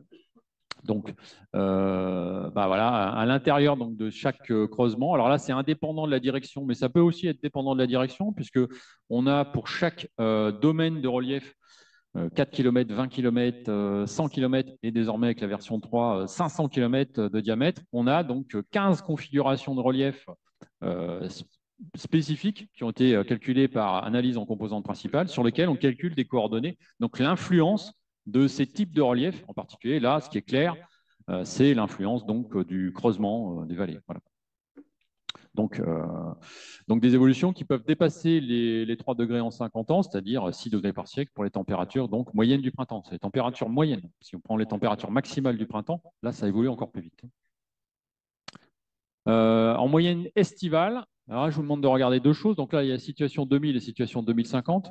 Ou alors, quand on présente des cartes, si on veut faire joli, il vaut mieux prendre des échéances fixes parce qu'en général, la qualité est meilleure. Voilà mais on voit moins les différences euh, intra-départementales ou ce genre de choses. C'est une question aussi de, représentation. Euh, donc là, ce qu'on voit, c'est en périphérie du massif central, donc effectivement une évolution rapide, on va dire, de la température moyenne en été, ce qui correspond à ce qu'on nous explique habituellement dans le cadre du changement climatique global. Et en plein cœur du massif central, ben, ça n'a pas l'air de trop bouger. Quoi. Voilà. Et donc c'est pour ça que j'ai sorti euh, l'évolution de la, la température, la carte d'évolution donc, on voit des tâches, effectivement. Donc là, la carte, elle est de moins bonne qualité. Mais quand même, ce qui est central, là, ça, ce n'est pas un artefact, même si on ne sait pas exactement donc, la, délimitation. Ce qui est central, c'est une zone donc, de très faible évolution de la température moyenne en été. Et effectivement, alors même si ça nous a étonné au tout début, il y a de ça cinq ans, euh, c'est quelque chose qui est cohérent avec ce qu'on obtient par ailleurs, on va dire, sur les précipitations. Et même si on ne fait pas de la physique, on ne nous répond pas à la question pourquoi, ce n'est pas notre job a priori. Donc c'est vraisemblablement lié donc à l'augmentation de nébulosité qui elle-même est liée à l'augmentation de la quantité d'énergie que vous recevez. Euh, quand vous avez un système qui est montagneux, si ce n'est pas trop sec, bah, vous avez soulèvement donc, des masses d'air, c'est la météo. Hein. Soulèvement des masses d'air, c'est ça qui permet de créer donc, euh, les nuages. Et donc, on va le retrouver après dans les précipitations. Et quand vous créez, on va dire, plus de nuages, bah, vous bloquez le rayonnement. Donc, c'est normal que en température, euh, vous, euh, il y ait moins d'élévation de température donc, euh, sur les endroits où vous avez donc, des, des valeurs élevées d'altitude.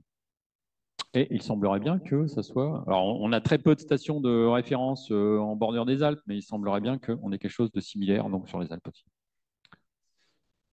en hiver, bah, en hiver, en gros, c'est la situation inverse mais pas du tout pour les mêmes raisons. Mais voilà, il se trouve fortuitement que c'est une situation qui est presque inverse.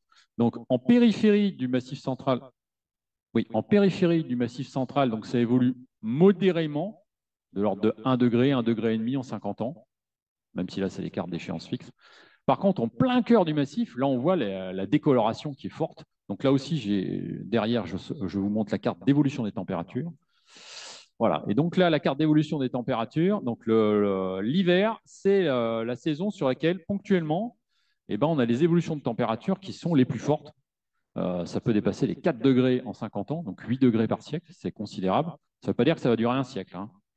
Pourquoi ça ne veut pas dire que ça va durer un siècle?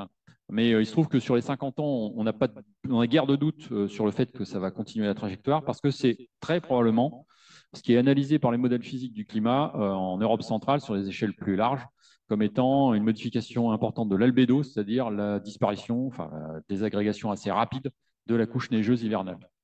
vous remplacez une surface qui est blanche, qui réfléchit à l'orientement solaire, par une surface qui est verte, s'il y a de l'herbe, ou marron, s'il y a du sol. Et ça, ça capte, la, chaleur. Donc, tant que vous êtes dans la trajectoire, tant que vous êtes dans le phénomène, eh ben, vous avez un albédo qui se modifie. C'est-à-dire vous avez de plus en plus de capacité du sol, on va dire, à capter la chaleur. Donc, c'est normal que quand vous êtes en transition et en disparition ou en régression forte de la couche neigeuse hivernale moyenne, eh ben, vous soyez en transition thermique rapide. Ça, ça ne plaît pas du tout aux gens qui s'occupent de tourisme hivernal. Hein. Enfin, ceux qui souhaitent qu'on glisse sur de la neige. Parce qu'en gros, euh, ça, c'est la couche hivernale, euh, couche neigeuse moyenne, naturelle. Sauf que ce qu'on peut montrer aussi, c'est que euh, vous avez la température qui augmente, donc l'instabilité qui augmente. Donc les précipitations neigeuses, elles, en termes d'intensité, ça ne diminue pas forcément. Donc la neige sur les pistes, moins, la neige qui vous empêche de circuler sur les routes, autant, voire plus, même si on ne s'est pas positionné spécifiquement là-dessus.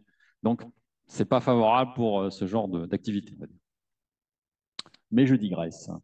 Alors, euh, maintenant, on va passer aux euh, précipitations. Donc euh, là, c'est la carte d'évolution. Donc effectivement, il y a du bruit, ok. sachant que là, il faut tenir compte de l'incertitude, hein, même si je l'ai mis sur aucune carte, parce que c'est la présentation, on va dire, grand public. sur les précipitations, l'incertitude sur ce genre de carte est de l'ordre de 70 mm en 50 ans. Donc en gros, la seule chose qui est statistiquement significative, c'est ce qui est marron foncé. Quoi. Ailleurs, on peut considérer que c'est dans l'épaisseur du trait, c'est-à-dire moins 10, plus 10 sur un cumul moyen du massif central de 1000, 1 ou 2% je veux dire, c'est négligeable. Mais il y a une zone où ce n'est pas négligeable, c'est le sud-ouest du massif central, et en particulier le département du Lot. Voilà. Mais il y a aussi euh, le bassin de Brive, il y a aussi euh, l'ouest de l'Aveyron, l'est du Tarn. Voilà. Donc, euh, dans, ce genre de zone, oui, il y a une diminution. Diminution qui, en termes de pourcentage, par rapport au cumul annuel précédent changement climatique, peut atteindre l'ordre de 15%. Donc, c'est absolument pas négligeable. Et les gens qui disent qu'en termes de cumul annuel de précipitations, il n'y a pas de signal, oui, en général, il n'y a pas de signal, mais il y a des zones où il commence à y avoir du signal significatif, et il est fort. Donc après, euh, j'ai fait donc plusieurs saisons. D'abord l'été. Alors l'été, en correspondance avec le blocage donc, des températures, le quasi-blocage des températures, bah, vous, vous avez des précipitations qui sont en train d'augmenter. Et sachant que, regardez, ça monte, euh, après, ça, se décale vers le nord. Bah, ça, c'est cohérent d'un point de vue météorologique. Parce qu'une fois, dans le genre de situation où il y a des nuages, on va dire, d'instabilité, des averses qui se forment, en général, le flux il est plutôt de sud-sud-ouest ou sud à sud-est, ça dépend. Donc ça veut dire que les précipitations, enfin les nuages, une fois qu'ils sont formés, et les précipitations, quand elles commencent, ensuite, elles sont emmenées par le flux classique dominant de ce genre de situation. Donc c'est normal que les précipitations qui sont plus fortes à l'endroit où les températures sont bloquées bah, soient emmenées aussi vers le nord. Donc vous avez les deux tiers, voire les trois quarts nord du massif central, qui sont en train de connaître une augmentation du cumul estival de précipitations. Ça, c'est contraire à ce qu'on vous raconte habituellement. Par contre, ce que vous ne dites pas à la carte, mais ce que moi je peux vous dire en tant que météorologue, c'est que ce n'est pas n'importe quoi comme précipitation. Évidemment, c'est des précipitations sous forme d'averses, d'intensité vraisemblablement de plus en plus forte. Donc, il y a un enjeu fort de valorisation de ces précipitations supplémentaires. Si ça marche, bah oui, effectivement, vous pourriez avoir un système qui soit plus productif, pourquoi pas. Par contre, si la configuration euh, des lieux ou l'exploitation, etc., ou de votre activité fait que ce n'est pas utilisable, ce genre de précipitation sous forme de forte intensité, bah, ça sera quand même une dégradation. Ok, euh, donc là j'ai fait un zoom sur le Lot. Pourquoi? Parce que c'est euh, le département euh, qui se distingue, on va dire, dans le cadre du cumul estival. Bah oui, parce que le Lot, il est aussi en, un peu à l'écart, on va dire, des reliefs les plus élevés, et en plus il, est vers le sud-ouest. Donc comme le flux emmène les précipitations supplémentaires vers le nord, bah voilà, à part l'extrême nord-est, c'est dans le Ségala ça, l'extrême nord-est, Fabien? L'extrême nord-est du Lot, là? C'est le nord du Ségala. Voilà, il y, a des zones où éventuellement un petit peu vous auriez des, précipitations supplémentaires du relief. Bah, pour une grande partie du département, on est dans le cadre d'une diminution des précipitations estivales, diminution qui correspond à peu de choses près au signal du changement climatique global qu'on vous exprime euh, habituellement. Donc il y a des zones qui se rapprochent plus de ce qu'on vous dit habituellement sur ce point-là, donc c'est le lot. Euh, en automne, alors en automne, euh, je ne vais pas chipoter. La, seule chose qui soit vraiment importante, c'est le, le vert foncé là sur la zone Sévenol qui correspond à une augmentation forte, voire violente du cumul des précipitations. Ça, ça c'est quelque chose qui est bien vu par la modélisation physique du climat. Simplement, en observation et en projection AP3C compatible avec les observations, c'est sensiblement plus rapide, euh, quelque part entre 50 et 100% plus rapide. Voilà. Mais pourquoi est-ce que c'est bien vu par la modélisation physique du climat? Parce que ça dépend de, on va dire de, phénomènes de plus grande échelle, ça dépend de la présence de la Méditerranée. Voilà, il y, a des déterminants physiques forts et qui sont cohérents dans la modélisation physique. Ça, c'est sur l'automne. Euh, donc maintenant, on va combiner donc, euh, les précipitations qui évoluent saison par saison, de manière parfois assez différenciée, et la demande évaporatoire. C'est une demande évaporatoire de référence, l'évapotranspiration potentielle, ETP, mais c'est beaucoup utilisé. Alors, ce n'est pas l'évapotranspiration réelle, parce que dès que le sol il commence à perdre son eau, après les plantes se mettent en, dormance, il y a les stress hydriques, etc. Mais c'est quand même c'est souvent utilisé ce bilan hydrique potentiel. Donc voilà pourquoi on a fait également des cartes de bilan hydrique potentiel. Sachant que le bleu foncé, là, euh, bleu, ça ne veut pas dire nécessairement que ça s'améliore. Euh, c'est quand même une dégradation de 80 à 100 mm donc sur les, reliefs importants du massif central et également vers le nord-ouest. Ça, c'est euh, l'augmentation de la circulation océanique qui est un effet de grande échelle hein, qu'on retrouve également. L'augmentation des perturbations d'ouest, mais euh, donc au cœur du massif central, bah, vous avez quand même, donc, euh, malgré euh, le maintien des, précipitations, bah ouais, mais comme la demande évaporatoire augmente, bah, on perd quand même 80 à 100 mm. Et puis, donc, bah, pour l'essentiel, pour les trois quarts de la carte de la surface, c'est l'augmentation de la demande évaporatoire. Mais lorsque vous allez vers le sud-ouest, il faut combiner avec la baisse des précipitations. Et donc, baisse des précipitations sur le sud du Lot, sur l'ouest de l'Aveyron, un petit bout du Tarn, un petit bout de l'Aude. Eh ben, on arrive à 250 mm de dégradation du bilan hydrique en 50 ans. Et c'est en cours, là. Hein. Donc ça veut dire que c'est extrêmement sévère. Ce n'est pas strictement équivalent au fait que vous aviez 250 mm de précipitation en moins, mais euh, il y a certains effets qui s'en rapprochent quand même. Donc la dégradation, elle est extrêmement rapide. Euh, le bilan hydrique potentiel du printemps, donc là j'ai fait les deux, échéances 2000 et 2050. Euh, qu'est-ce qu'on voit? Bah, On voit, on va dire, regardez, c'est simplement pour vous montrer la, coloration et puis aussi les valeurs. Pourquoi? Parce que la valeur qui est centrale, qui est verdâtre, vert pomme, euh, regardez donc en situation 2000, le vert pomme, enfin il y en avait beaucoup moins qui étaient plus rouges que plus bleus. Je ne sais pas si je suis clair. Là. Donc, grosso modo, euh, le massif central euh, pour le printemps était plutôt excédentaire, c'est-à-dire qu'il y avait plus de précipitations que de demandes évaporatoires. Regardez ce qui se passe, euh, donc c'était en 2000, regardez ce qui se passe en 2050. Bah, on est à l'équilibre, voire une majorité, on va dire, de, secteurs où c'est négatif. Donc, grosso modo, on passe d'une saison fraîche et humide à une saison chaude et sèche. C'est ça le printemps aussi qui est très fort, on va dire c'est que dans le Massif central, il y en a beaucoup qui avaient l'habitude d'un printemps euh, frais humide. Et eh ben, pour un certain nombre de personnes, c'est en train de virer euh, chaud et sec. Alors, pas autant que l'été, on est d'accord. Mais euh, qualitativement, on va dire, ouais, les problèmes, ils arrivent beaucoup plus tôt. Quoi. Ils arrivent au printemps. en été, alors là, en été, vous avez la périphérie. Alors, toutes les couleurs sont négatives sauf le bleu foncé. Hein.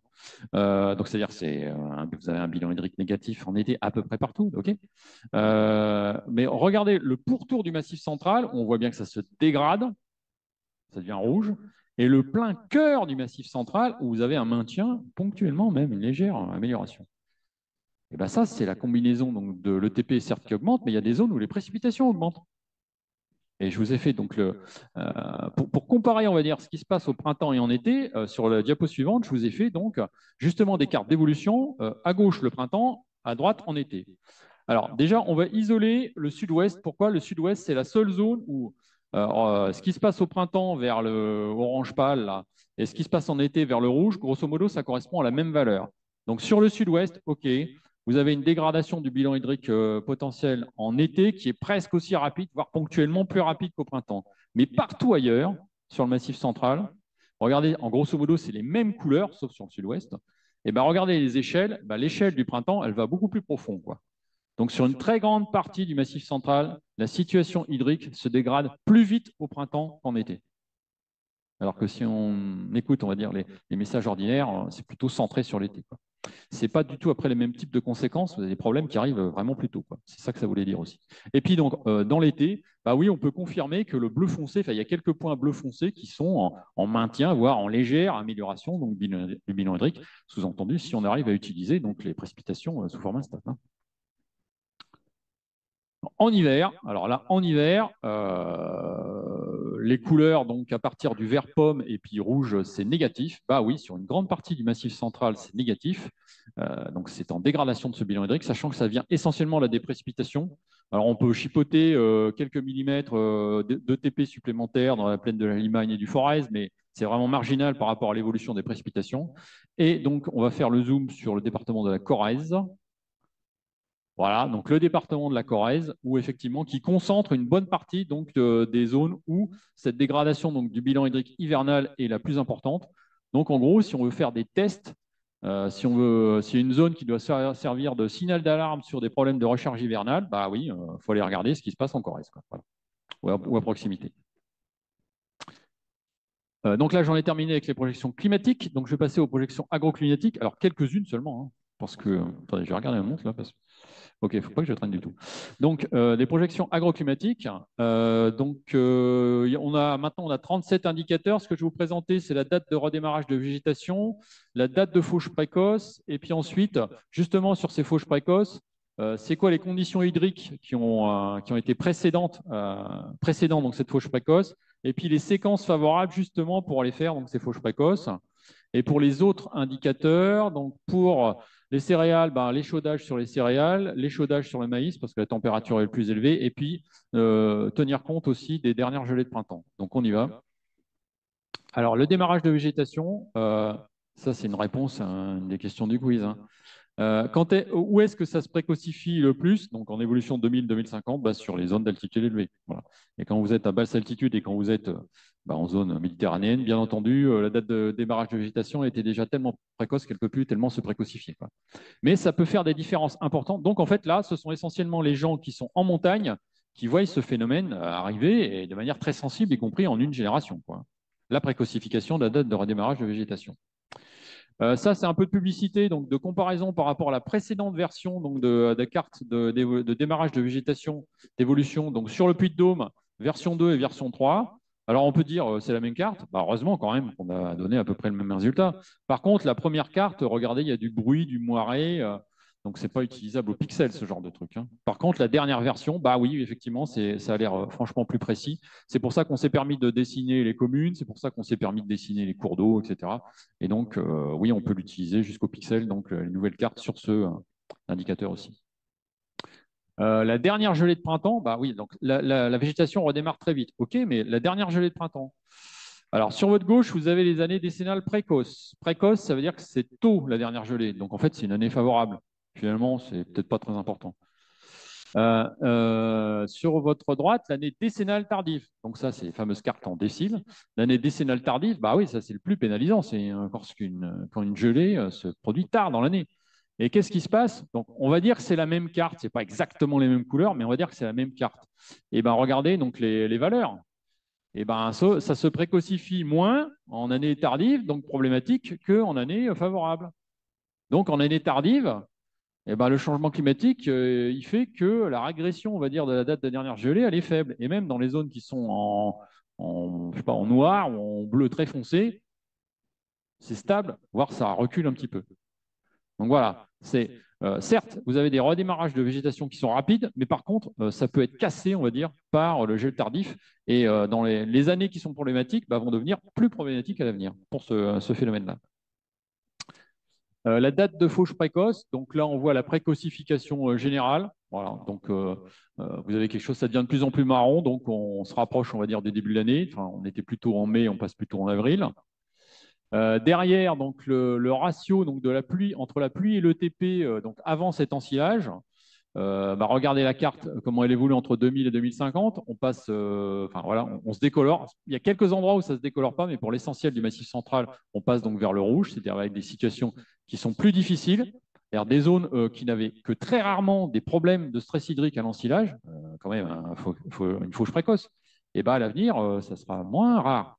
Il y a des endroits où peut-être ça va devenir problématique, même pour les fauches précoces. Les périodes favorables, alors là, les périodes favorables, donc il y a un maintien sur, on va un gros limousin. Par contre, sur une bonne partie donc, du massif central, entre, 2005, entre 2000 et 2050, ça devient vert. Pourquoi? Bah, Parce qu'il y a moins de précipitations, donc vous avez plus de facilité d'aller sur les champs. c'est ça que ça veut dire. Euh, les céréales, donc le nombre de jours où la température dépasse les 25 degrés, ça c'est une évolution. Euh, donc ça évolue partout à la hausse. Donc en valeur relative, je dis bien en valeur relative, ça c'est les valeurs absolues, mais en valeur relative, c'est sur les sommets que ça évolue plus vite. Ça n'existait pas, bah, ça va exister. Donc quand vous divisez quelque chose par zéro, ça monte très très haut. Hein.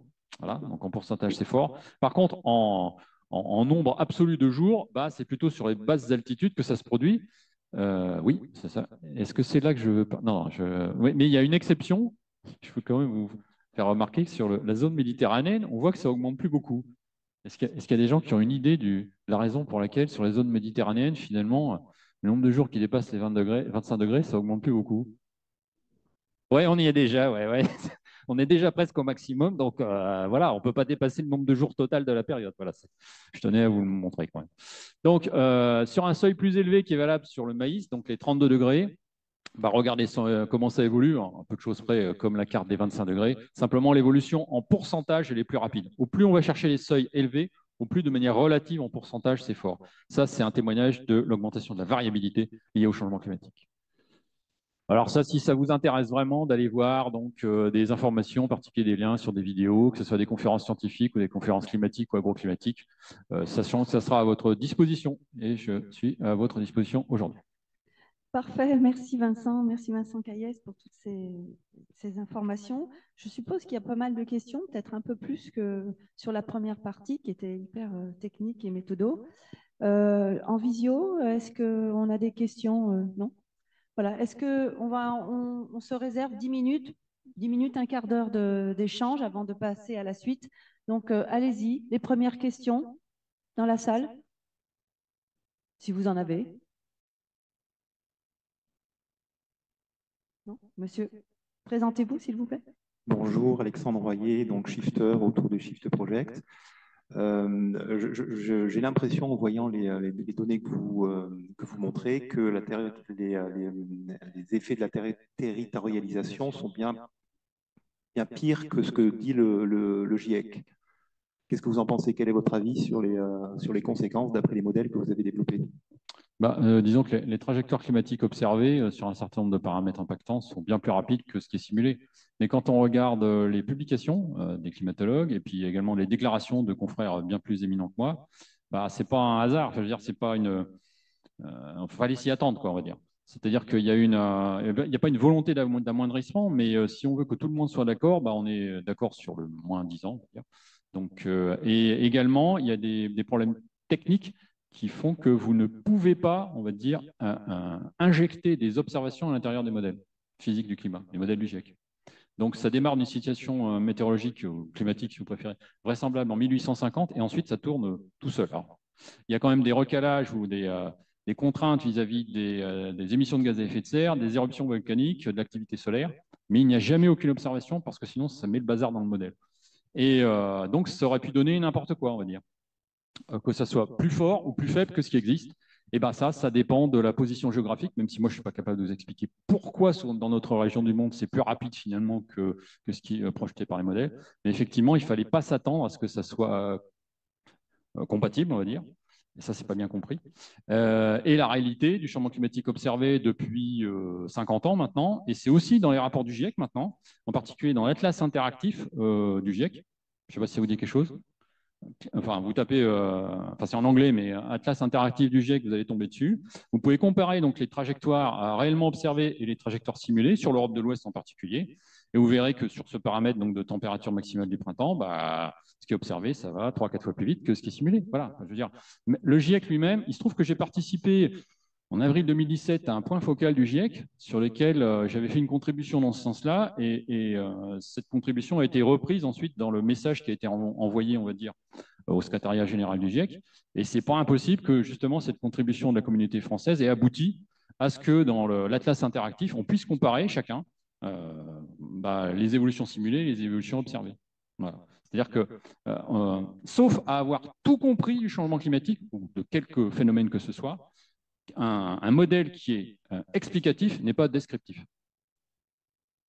ça fait bizarre quand je dis, ça, mais euh, sauf avoir tout compris, sous-entendu, euh, compris tout ce qui est significatif. Là, ok, vous partez de même un siècle précédemment, et puis si vous avez compris tous les phénomènes, vous allez aboutir au bon résultat maintenant. Mais tant qu'on n'a pas tout compris du changement climatique, il ne faut pas s'attendre à ce que ce type de modèle reconstitue les trajectoires réelles. Et en particulier, on a des raisons de croire que c'est en train de se dégrader, la conformité, enfin la non-conformité plutôt, entre les trajectoires observées et les trajectoires simulées. Donc effectivement, ça peut être difficile de s'y retrouver pour le commun des mortels, de savoir. Il n'y a pas beaucoup de gens qui comprennent que lorsqu'on dit euh, bien pourquoi, on ne dit pas bien comment. Enfin, ça fait bizarre. Ça, semble même contradictoire avec la démarche scientifique. Bah, désolé, si, vous ne pouvez pas recaler, et on ne peut pas recaler ces modèles avec les observations pour des raisons techniques, il ne faut surtout pas essayer de mettre des observations, ça, fait vibrer pendant des décennies, et ben nécessairement, ça va où ça veut. Ça nous dit des choses très utiles sur euh, les types de phénomènes, les, transferts de chaleur, la compréhension du phénomène, mais ça ne nous décrit pas les trajectoires telles qu'elles sont en cours. Ce n'est pas leur job. Mais on peut penser que des études comme AP3C, qui sont très localisées sur des, petites, euh, sur des plus petits territoires, sont plus précises et donc euh, plus, plus, plus, réelles. Et... Bah nous, on se base sur les trajectoires réellement engagées.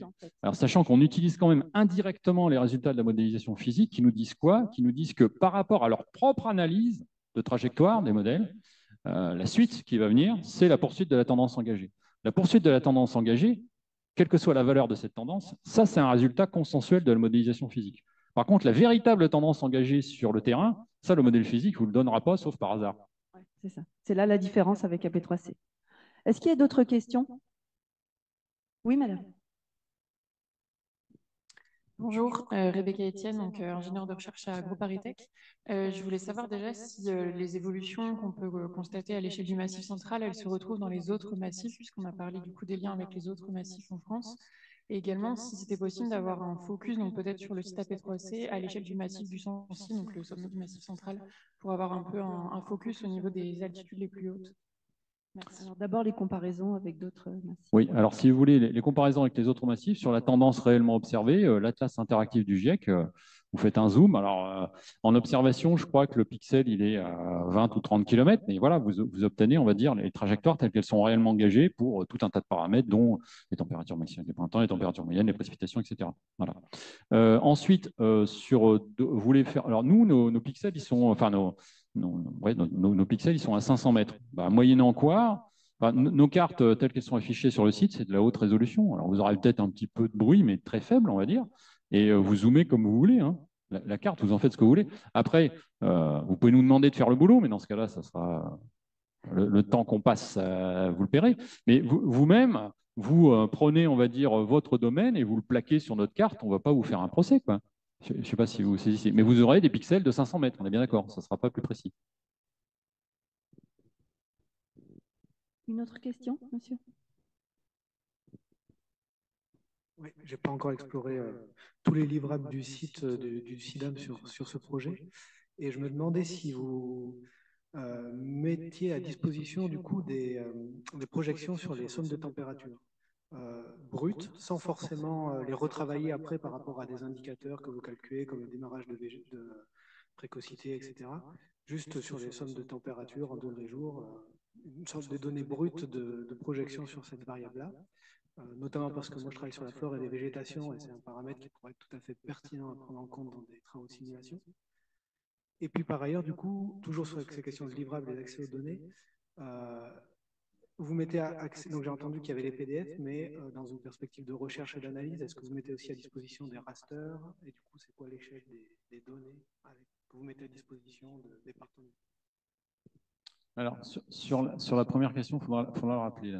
Sur les sommes de température Ah oui, alors, euh, nous, on a une liste, je ne vais pas dire qu'elle est définitive, mais je pense qu'elle est définitive sur euh, ce qu'on a produit et vous l'avez en totalité sur notre site. La seule différence, qui, ce qui n'est pas affiché sur le site, ce sont les cartes simplement en déciles, quoi. Déciles inférieurs, déciles supérieurs.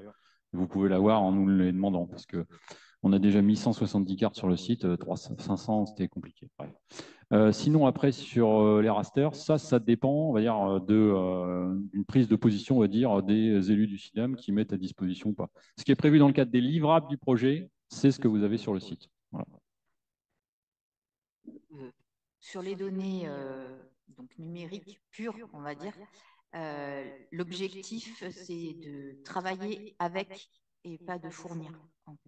Donc, bah, l'objectif, c'est de revenir vers nous et puis de voir dans quelle mesure on peut travailler avec vous, comme disait Vincent. voilà, certaines choses doivent être financées parce qu'il y a potentiellement du travail à faire, à fournir et de faire ensemble. et pas de donner vraisemblablement les données raster telles, telles que. Voilà. Disons que sur, les indicateurs qui vous intéressent et qui ne sont pas sur la liste de 57 en tout, euh, qu'on a fabriqué, eh ben, euh, on peut en fabriquer un nouveau pour vous. Mais dans ce cas-là, le temps qu'on fait, alors grosso modo, comme ça, s'il n'est pas trop compliqué, euh, deux jours pour le fabriquer au niveau ponctuel et deux jours pour fabriquer les cartes. Parce que le processus, il est quand même un peu sophistiqué, on va dire. Donc, euh, grosso modo, vous avez quatre jours de boulot pour avoir les cartes correspondant à, euh, à l'indicateur qui vous intéresse, 2000, 2050 et l'évolution entre les deux en valeur médiane et en valeur des sites. Voilà.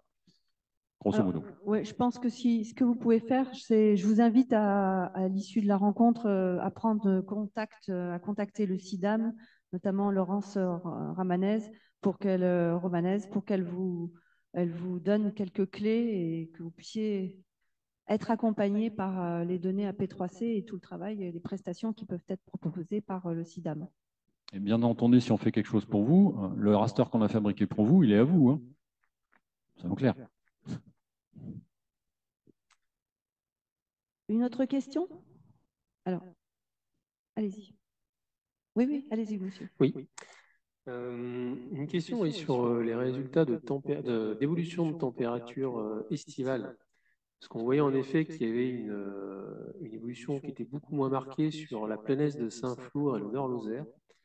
donc, avec une explication qui était sur l'augmentation de la nébulosité je me pose quand même la question euh, par rapport à l'effet de fun euh, qu'on a sur euh, l'Est Cantal. Est-ce que ça veut dire que du coup, on aurait un abaissement de l'effet de fun, une augmentation de la nébulosité qui serait liée du coup à des, des questions de convection ou il y, a, quelque chose qui m'a un peu échappé là. Bah, nous, on ne fera pas d'explication physique, donc en fait, je n'ai pas de réponse à votre question. S'il y en a qui veulent l'étudier, c'est avec grand plaisir. Mais nous, notre propos, ce n'est pas, pas de rentrer, on va dire, dans la physique des phénomènes. C'est-à-dire quand l'explication elle est simple et plus ou moins consensuelle, on la donne, mais on ne travaillera pas là-dessus. Alors je prends la dernière question, parce qu'il nous reste deux, trois minutes. Monsieur? Oui, Bellocchi, scientifique INRAE. Bon, c'est un sujet peut-être un peu marginal, mais qui est évoqué ce matin. L'oscillation euh, multidécadale de l'Atlantique, euh, vous l'avez évoqué ce matin, si des fois peut avoir apporté un plus euh, de, de, température. Donc, par rapport à ce qu'on a observé, qu'au printemps, notamment, on avance 3-4 fois plus vite qu'au niveau global, comme l'Atlantique est juste à côté, si peut-être c'est une branche grandissante de la courbe de, de AMO, oui, Atlantic qui peut pouvoir jouer un rôle, si, si, on a quelque chose de quantitatif là-dessus, pour pouvoir estimer cet apport.